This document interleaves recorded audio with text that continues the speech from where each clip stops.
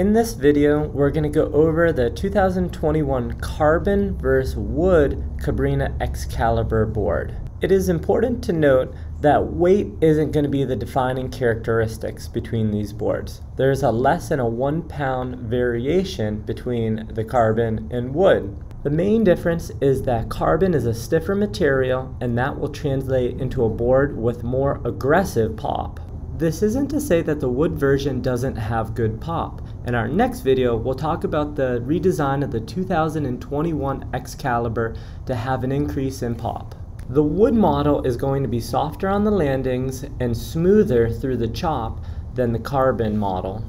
A benefit of the carbon model is that in light winds you may see better upwind performance and better pop because of the stiffness.